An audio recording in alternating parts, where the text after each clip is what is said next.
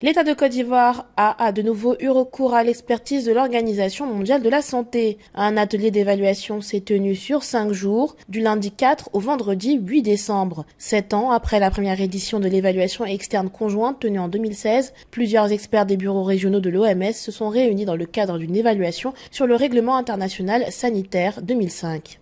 C'est un atelier qui vise à évaluer nos capacités de préparation de détection et de réponse aux épidémies. Donc, il y a plusieurs domaines prioritaires qui vont être évalués ces jours.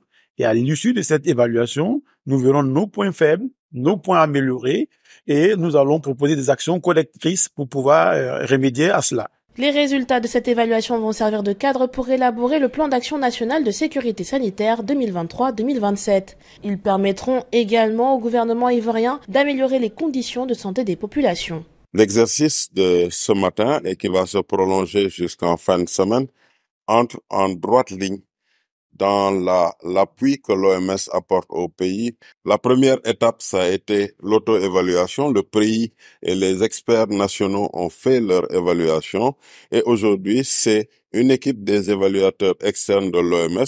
Le règlement sanitaire international consiste à éviter la propagation internationale des maladies par des actions coordonnées. Cet atelier vise à évaluer les capacités de préparation et de réponse de notre pays aux menaces sanitaires.